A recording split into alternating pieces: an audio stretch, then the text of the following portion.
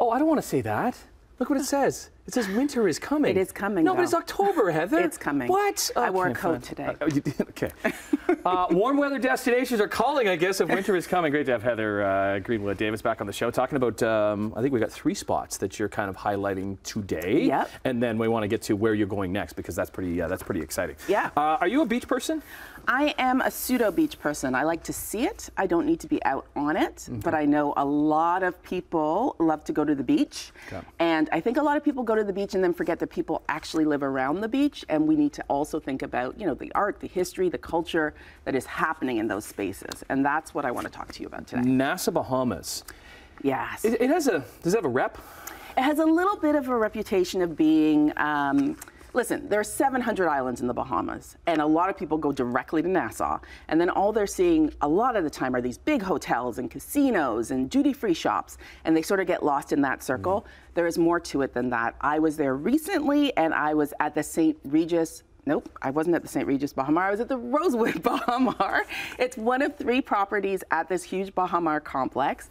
And Does it say here? is, yes, it's absolutely gorgeous. But what I loved about it most of all, it and it too, it's on the beach. You've got the food, you've got the spa, you've got butler service, you've got flamingo yoga, which I did, which is really Like weird. goat yoga with the flamingos? Except it's the flamingos, Ah, and they, they're go. moving around you. You kind of have to keep an eye on them, but there are handlers.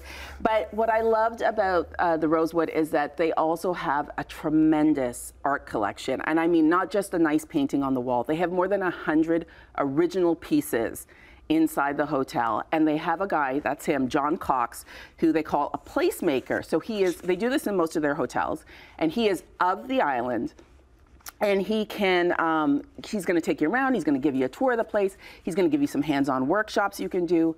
It's absolutely stunning. This property i can't get over like there were so many pieces i wanted to take home. Bermuda.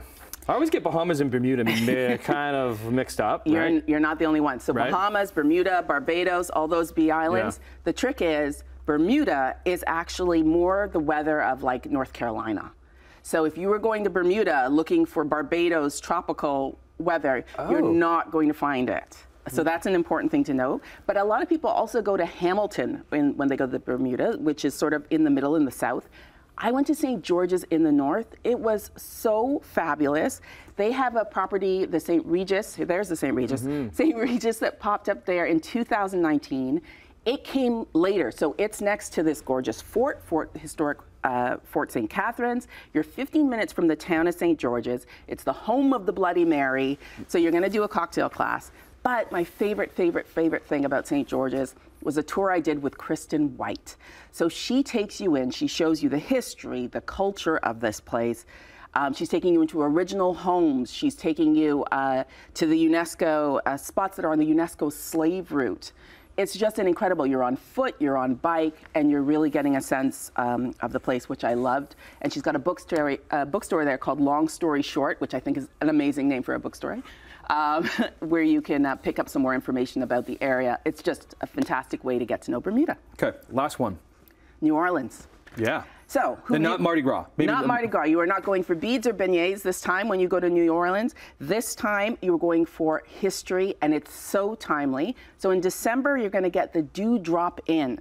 So this is a restored hotel that used to be on the uh, Negro Motorist Green Book. So the Green Book, people will be familiar with the movie where uh, black people had to stay in segregated hotels. This was one of them. Ray Charles, uh, James Brown, Aretha Franklin, Tina Turner, Otis Redding are all people who came through there.